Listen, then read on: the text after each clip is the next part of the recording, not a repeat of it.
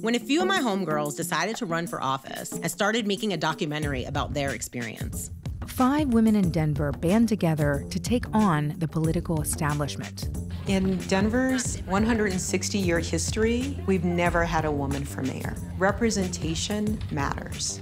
It was actually more terrifying to decide to run than to think about being mayor. And they're taking on mainstream politics, and they're running without permission, and they're running without the handshake. An exciting behind the scenes look at a grassroots movement. Yes! I'm scared. Yeah, you've done everything you can. Anytime we're trying to increase representation in a place where people are accustomed to a certain type of person and a certain identity being represented, there was going to be some pushback. We want a country that we can be happy to pass on to our children and our grandchildren. Running with My Girls on America Reframed. Watch on World Channel and in the PBS app.